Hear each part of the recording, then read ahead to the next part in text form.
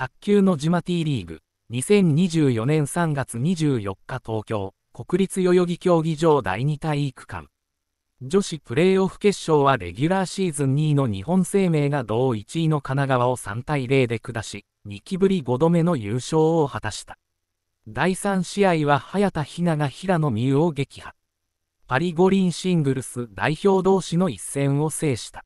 プレーオフの最優秀選手、MVP、には笹尾明日香、麻生麗名組が選ばれた。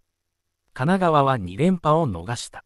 早田が五輪代表同士の戦いで雪辱を果たし、日本生命の王座奪還に貢献した。今月のシンガポールスマッシュ1回戦でストレート負けを喫した平野との再戦に、ここがリベンジする場。いつも以上に気を引き締めた、と奮起。競り合った第2ゲームを制するなど勝負強さを示して3対1で解消した。約4ヶ月後には大舞台が待つ。